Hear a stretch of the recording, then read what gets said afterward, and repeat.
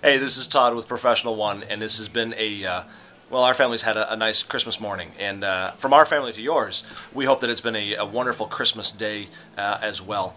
But you've made it this far through the 31 days of Thanksgiving, and um, I simply personally wanted to tell you thank you for reading along, dear uh, readers. Um, but more importantly, the 31 days of Thanksgiving have taught me, if you haven't read, um, simply practicing simple gratitude on a daily basis.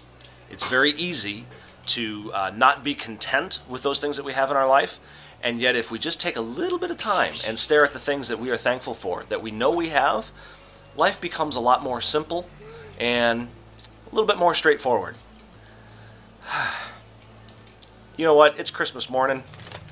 I have some Nerf that I need to play. Take it easy, guys.